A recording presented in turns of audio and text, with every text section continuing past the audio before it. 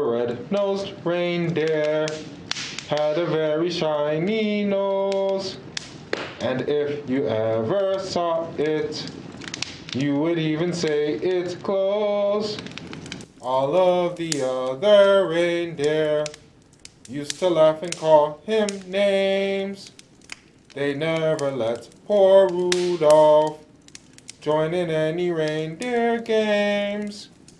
Then one foggy Christmas Eve, Santa came to say, Rudolph, with your nose so bright, won't you guide my sleigh tonight? Then how the reindeer loved him as they shouted out with glee. Rudolph the red-nosed reindeer, you'll go down in history. As I have this fireside carol, I must say, Merry Christmas to everyone. May God bless you, and may you discover beauty during this season of joy.